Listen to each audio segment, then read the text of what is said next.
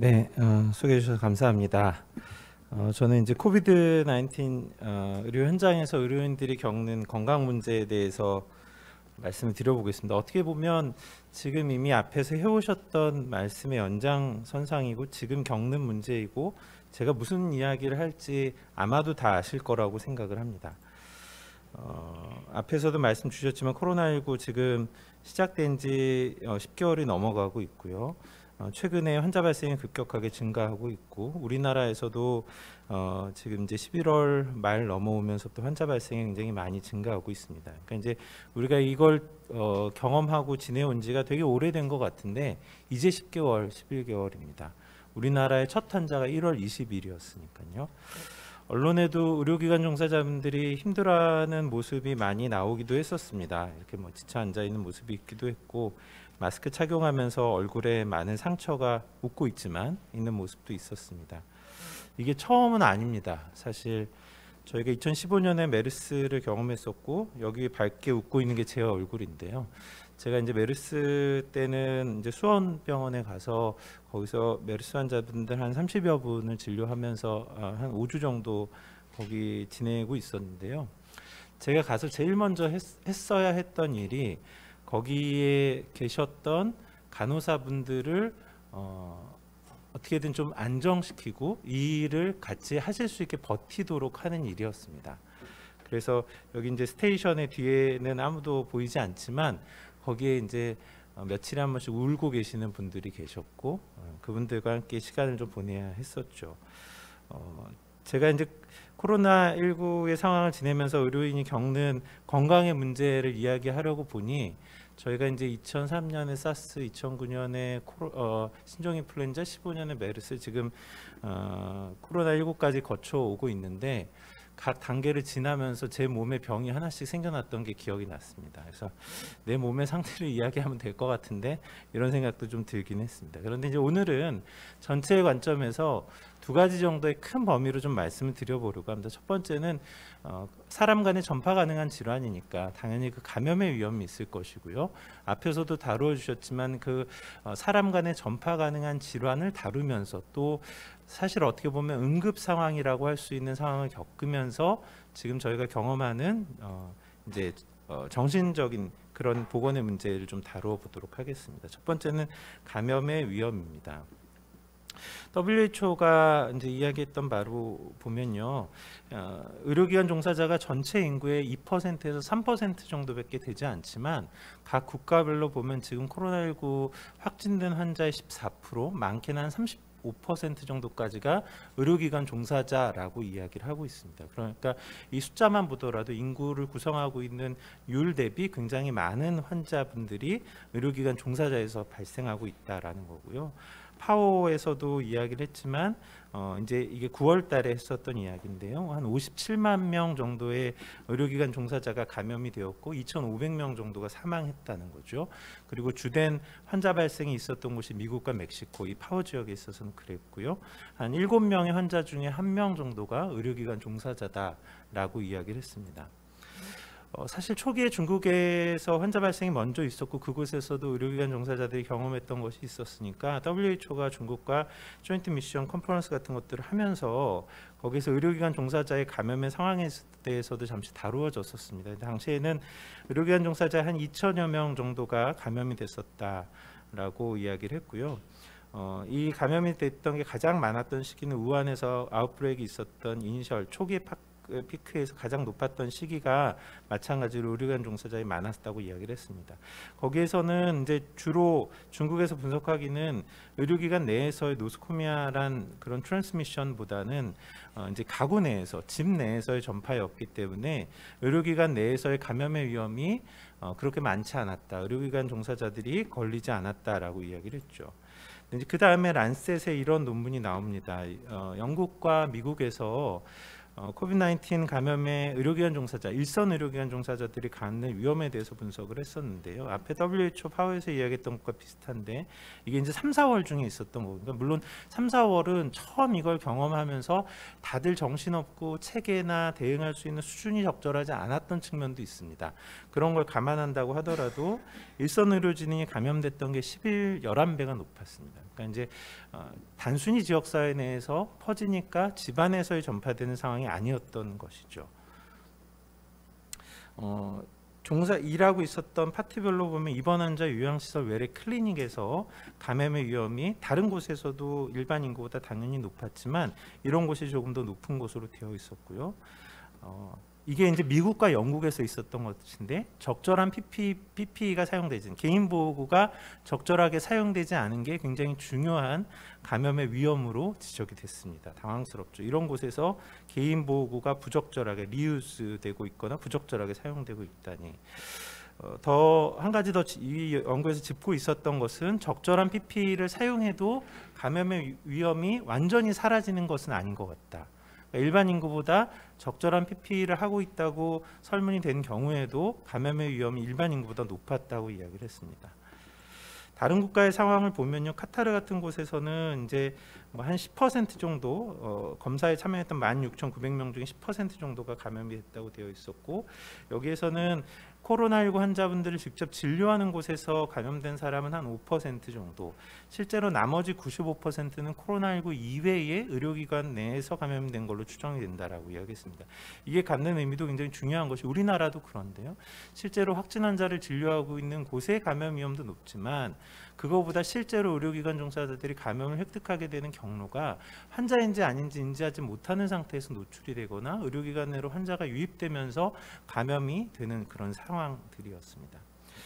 호주 빅토리아에서 이제 매 감염되고 있는 사람들을 계속 이제 체크해서 이렇게 어, 시각적으로 보여주고 있는데요. 여기에서도 어, 전체 어, 감염 그 감염이 이루어졌던 헬스케어 워커가 한 3,500여 명, 그 중에서 실제로 의료 현장에서 근무하면서 감염됐던 사람이 한 2,600명 정도라고 이야기를 하고 있고 실제로 이런 발생은 그, 그 지역에서의 환자 발생의 시기와 거의 맞, 맞아갑니다. 우리나라의 상황은 어떨까요? 우리나라에서 이제 5월 달에 처음에 논문으로 보고가 됐었던 것이 있었는데 5월까지의 환자 발생의 상황을 보면요. KCDC에서 어, 이 레포트 되었던 자료로 보면 한 241명의 헬스케어 워커가 감염이 됐었고요. 그 중에서 실제 의료하고 있는 곳에서 감염됐던 사람은 101명. 그리고 당시에는 치료 중에 감염된 사람은 없었다라고 이야기를 했습니다. 과거 메르스 때를 생각해 보면 그때는 헬스케어 워커가 어, 지금보다도 더 많았습니다. 감염됐던 사람이 우리나라의 경우에 21% 어, 정도의 환자가 어, 의료기관 종사자였던 것이죠. 그러니까 이제 이런 아웃브레이크에서 경험하는 상황이 어, 코비드 19만의 문제가 아닌 그 전에도 있었던 것이죠. 어, 이거는 이제 어, 이 국회에서 어, 한 국회의원께서 갖고 이야기를 하셨던 것인데 이 7월을 기준으로 봤을 때 어, 감염되었던 사람의 통계를 쭉 내서 봤는데요. 보면 앞서서랑 비슷하지만 가장 감염이 많았던 것은 일반 진료 중에 감염이 가장 많습니다. 그리고 어, 확진 병원 내로 이제 집단 발병이 유입되면서 거기에서 같이 걸렸던 사람이 있고요. 그런데 앞에서는 실제로 환자를 진료하는 곳에서는 없었다고 했지만 선별진료소나 확진자를 진료하고 있는 곳에서도 이렇게 환자 발생이 의료기관 종사장 중에서 있는 것으로 보입니다. 어, 지금 코로나19 환자분들의 감염 경로를 보면 병원이나 요양병원 이제 이런 곳을 통해서 감염된 사람이 전체 한 9에서 10% 정도 되고 있거든요. 이제 이곳에서의 발생이 다 인지되고 있는 상태로 있으면 좋은데 사실 인지된 상태면 이미 더 이상의 추가 발생은 없죠. 이 발생은 인지되지 않은 상태 이미 노출이 돼 있는 거고 마찬가지로 이 정도의 비율이 의료기관 종사자가 노출되고 있는 상황이 아닌가 생각을 합니다. 어, 또 우리나라에서 이런 감염의 위험에 노출되고 있는 사람들의 수를 좀 추정해서 논문으로 나왔던 것도 있는데요. 약 어, 140만 명 정도가 코로나19 환자분들의 감염에 노출 위험이 있는 어, 의료기관 종사자다라고 분석해서 이야기했던 바가 있습니다.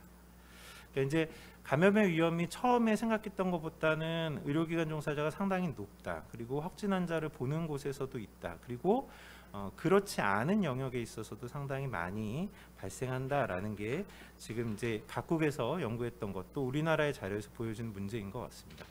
정신건강의 문제를 보면요. 어, 이 논문은 이탈리아에서 처음에 유행이 발생하고 5주 시점에 의료기관 종사자에서 조, 조사를 했던 건데 5주 시점에 번아웃에 대한 이야기를 하고 있습니다. 그러니까 이제 앞서 말씀드렸던 것처럼 지금 우리가 10개월이 넘고 있는 상황이니까 사실 번아웃의 문제가 없는 게 이상한 거죠. 이 상황을 지내면서요. 그래서 뭐 다양한 번아웃의 위험, 여러 감정적인 문제, 또 이리터빌리티 이런 문제들이 상당히 많은 사람들의 비율에서 의료기관 종사자에서 나타나고 있다라는 걸 보고했고요. 당연히 그거에 이어서 우울감이나 PTSD와 같은 문제도 상당히 많은 비율로 나타나고 있습니다. 이 연구도 중국에서 2, 3월에 응급실의 종사자를 대상으로 했었던 것인데 어, 이 정도의 비율로 보인다는 거죠. 어, 여- 이 연구에서는 남자가 조금 더 PTSD, depression 좀 더 많은 것 같다라고 했는데 middle age group, 어, 조금 더 이제 경력이 짧은 사람, 어, 근무 시간이 긴 사람, social support가 적은 사람 이런 사람들이 있다고 했고요. 또 간호사직에 있어서 PTSD의 risk가 높다라는 이야기도 했습니다.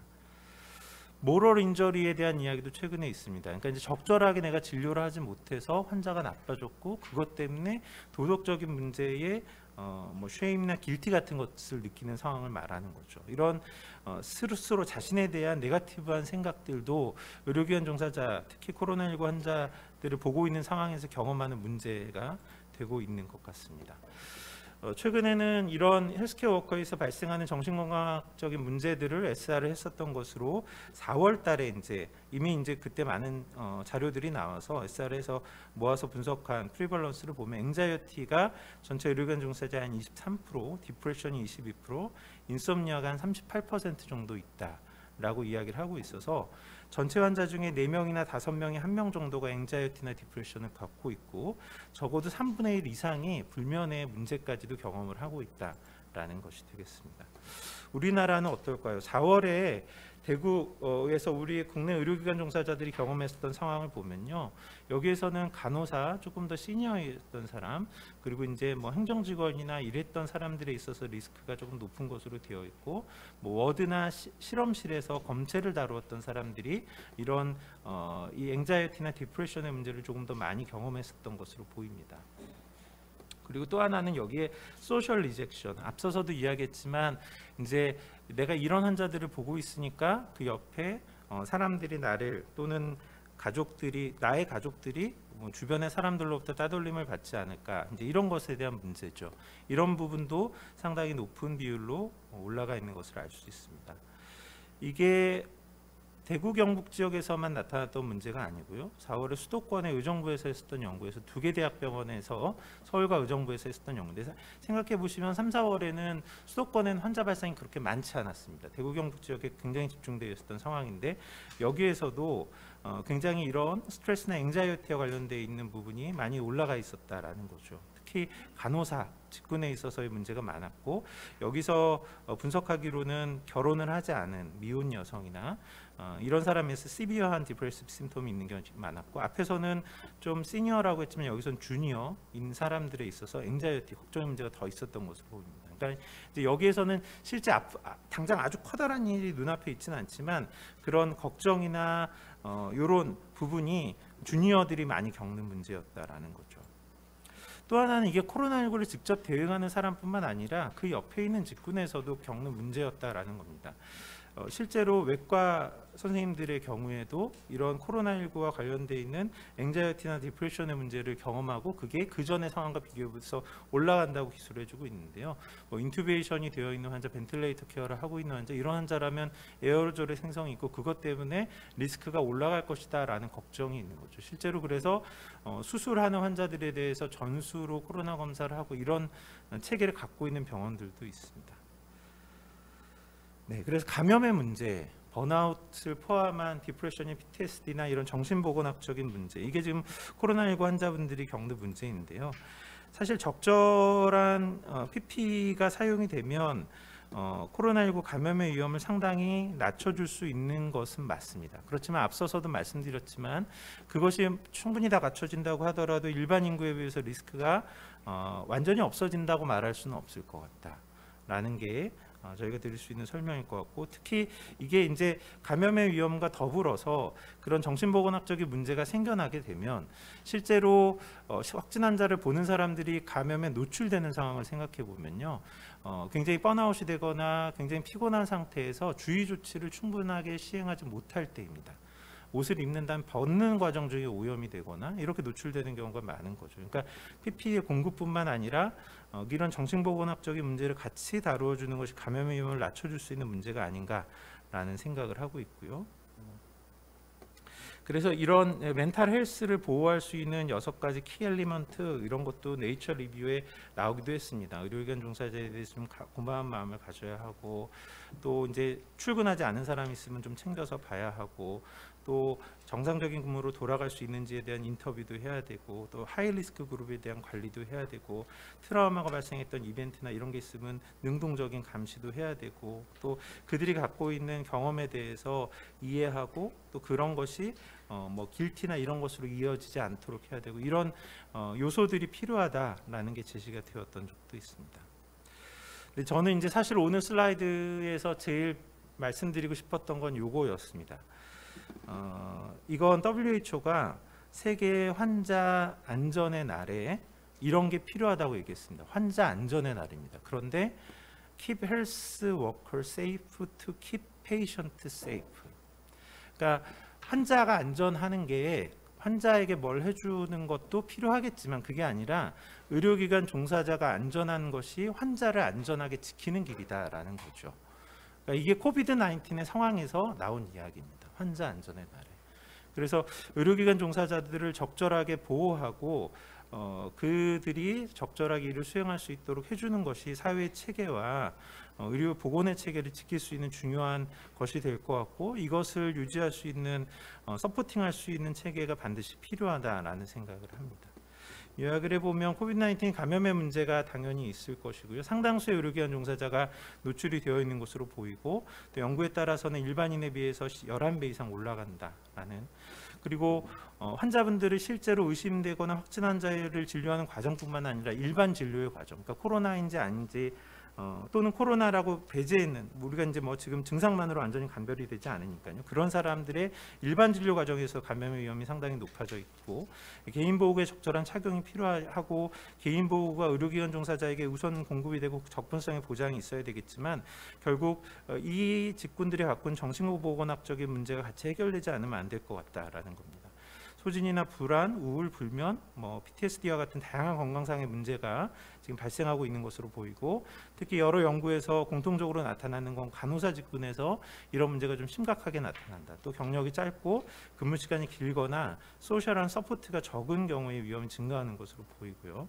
또 마찬가지로 코로나 환자를 직접 진료하고 있지 않은 의료기관 종사자라고 하더라도 이 유행의 시기에 같은 정신보건학적인 문제를 경험할 수 있다. 그래서 결국 의료기관 종사자의 정신건강을 지지할 수 있는 체계가 함께 있어야만 의료기관 종사자 코로나19 상황을 대응할 수 있지 않을까 하는 생각을 합니다.